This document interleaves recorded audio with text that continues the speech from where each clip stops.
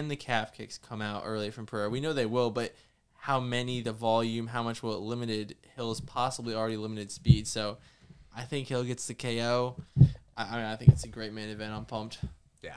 Ah, he's going with Hill. Toby's going with a The lot dogs of are dogs. barking. yes, is, he is. But um, so yeah, so you've got obviously Alex Pereira, but who is I tried see I tried to overcompensate for that time, and it, It worked. You can roll your R's or you can say But, the um, R's. You just can't use an H.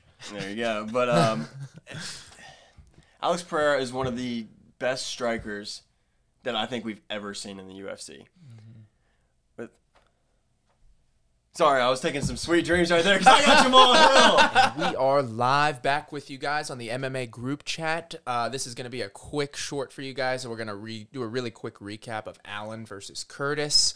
Uh, so let's hop right into it. Is that the fight of the year? Just give your quick reaction, instant reaction right off the bat. Was that the best fight we've seen in 2024 so far?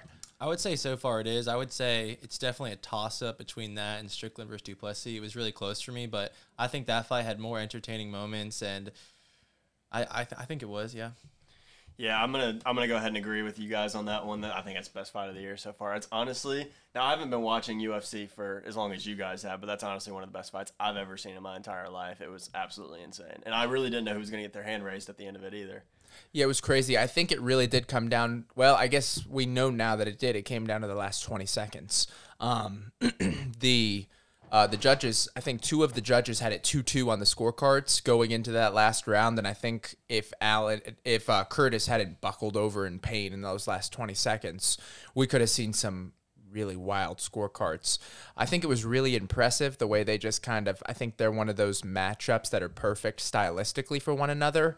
Um, I I don't know. What do, what do you guys come away with thinking about what's next for Allen and Curtis? Cuz you know we talk about how it's fight of the year so far and I would have a hard time disagreeing. But part of what makes a fight a fight of the year is that there's some sloppiness to it. There's some there's things where guys leave openings for the others to naturally find um, on both sides of it. With Allen, I came away with more concerns, I think, about how far he can actually go. Uh, Curtis is a, not a threat at all in the ground. Uh, he's only a threat on the feet, and he still gave Allen five rounds of hell. What? Where? Where does Allen go from here? Seeing that he's got a lot of weaknesses against a guy who can be sharper on the feet. I mean, I feel like you can look at it one of two ways. I look at it in the sense that he knew he was going to beat Curtis. He tried to, you know, use every aspect of his game against him. Also, a revenge fight. But you could also look at it at like what you were saying with concerns. He didn't go to the ground much. He got Curtis down basically at will. Someone with great takedown defense. I don't know. I I think it is a little concerning for Allen though, just because you know I think he should have just gone to the ground and dominated. It might not have been the main event people want to see, but it's his easiest way to victory and. I don't know. It was just an interesting strategy from him. Yeah, I don't think he took him to the ground at will, though. I'd have to disagree on that point because he tried in the fourth and fifth round to constantly take him down, and he started failing miserably. I mean, if it wasn't for the knee at the end of the fifth round, Allen probably is 0 2 to Chris Curtis. Uh, I don't know. I mean, it kind of gives me pause when I think about putting him against a true top five contender because it's like there are going to be guys who don't fade, who don't tear their hamstring, and who are going to come at him with constant pressure. I mean, if you put him against Strickland, I mean, the pressure, I don't know if he could take a pressure like that for five rounds. We, we already know he couldn't take it for three rounds. Um, and even more so, I mean, Du Plessis, uh, he's an even tougher matchup than Strickland or Curtis, I'd argue. Uh, so it does give me some concern, but I think. I think they have to rebook the Vettori fight. It would show me that he can take a guy who's both sharp on the feet and adequate on the ground, um, and that would give me that would give me peace about sending him forward. Um, you know, where this one kind of gives me a lot of concern. But I don't know what you guys think about them rebooking that. It seems like the rest of the division's pretty much booked up, so I don't. Yeah, I don't really see a lot of whole lot of other options if he wants to get back in there within the next six months. Yeah, the middleweight division's madness right now. Literally everything is booked up. So I definitely think at this point they're going to need to do Allen, um, um, Allen versus Vettori. So I also agree though. I, I don't think it was Allen's best performance, uh, but at the same time, I was very unimpressed with Allen. Um, I kind of expected him to kind of go out and get his revenge on Chris Curtis, but again, you could very well make the argument Chris Curtis won that fight. I personally did have Brendan Allen, but I mean, again, if somebody would have told me they 100% believed Chris Curtis won that fight, I couldn't have told them that they were wrong. So, again, not a great performance from Allen in my eyes, but it was an awesome fight, and I definitely think that Vettori would make a lot of sense. And I mean, at this point, he's one, maybe two wins away from a title shot. So. Yeah. Um, and I guess with Curtis, it's probably too soon to tell, but he's he's probably going to be sidelined quite a bit with the hamstring tear. So it'll be interesting to see kind of who he gets matched up with next. The injury might not be the worst thing for him in insofar as he could probably get a, a loser of one of these big fights. Uh, what I would like to see is, well, I, not that I'd like to see someone lose, but I'd like to see Cannonier go out and beat Imavov in June, and then Imavov versus Curtis get the rematch since their last fight ended in a no contest, and I think there's real bad blood there. Uh, that was evidenced especially when Imavov and him started arguing during Imavov's fight with Roman Dolidze. Uh, I think they both hate each other. If Imavov loses and Curtis is somehow healthy near the fall, maybe in time for, they announced uh, tonight at the UFC press conference that October 26th is the Abu Dhabi Fight Island card. Um, so maybe maybe we get that as like a feature bout on the on the pay per view if Curtis can heal up fast enough. Uh, I don't know, but I guess I guess time will tell. As far as the rest of the card goes, what did you guys think? Were there any notable moments, notable storylines you guys wanted to kind of dig into? I feel like we've kind of fleshed out that main event pretty much to its extent, given the injury and given now that we know Curtis fought four rounds with a torn hamstring. No, Uh, that, that Allen's performance is even less impressive. Well, I did want to add before we move on to that. I did want to add that I'm not even sure Al, or uh, Curtis is going to stay in middleweight because it was rumored before the fight that he was ready to move weight divisions. I assume that means down. I didn't see up or down. I assume that means down because he'd be a really, really small light heavyweight. So I'm not even positive that he would come back to middleweight. But I guess again, it could be a really long time before we even see him fight again at all. So I guess we'll see. No, I want to add one more thing too. I would say the biggest concern for me coming out of that fight is, I, while I wasn't impressed with it, it wasn't like as shocking as Curtis defending the submission attempts when Allen had the back. But there were three or four times that fight.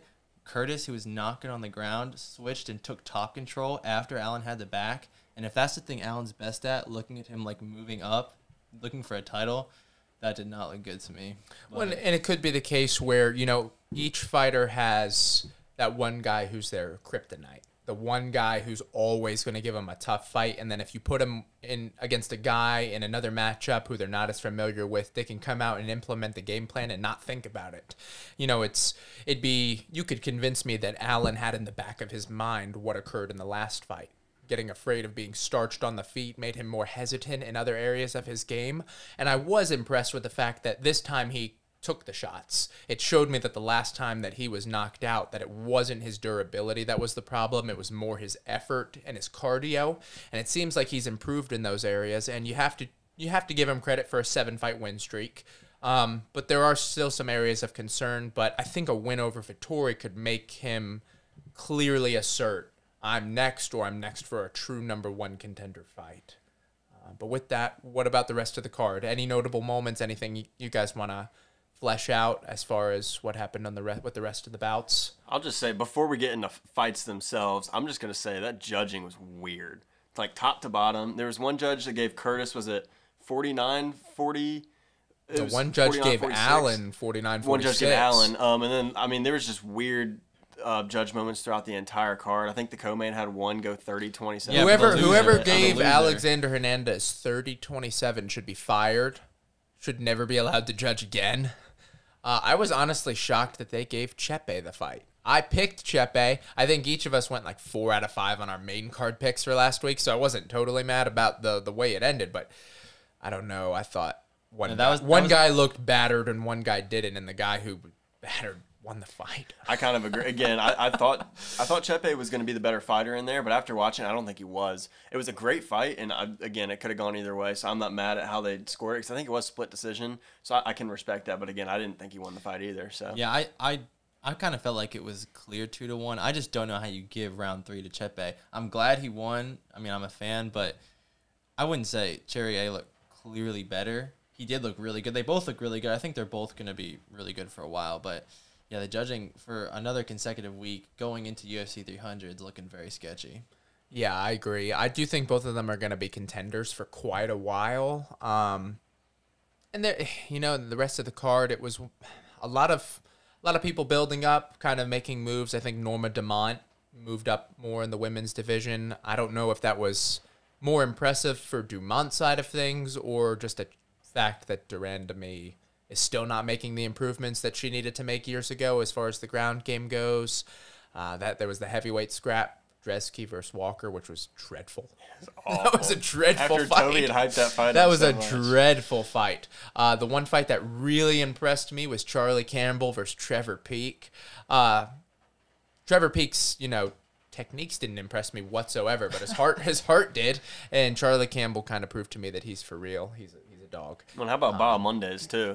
He really showed out. I mean, we knew he was going to be good, dude. but he came out and he, he even surprised me. He looked That awesome. kick, that's the second time he's done that with the kick, the spinning kick to knock somebody out. I mean, oh my gosh. His striking is scary. Um, and if he, I mean, if he can just keep piecing things together, and maybe the Ludovit Klein fight, um, where he really struggled with the takedowns, was kind of the wake up he needed to make sure that part of his game was shored up. Uh, I mean, the way his striking looked, it looked like he can contend with anybody on the feet. I'm I mean, I'd be terrified to take him on, and he's going to be knocking on the door of the top 15 really soon.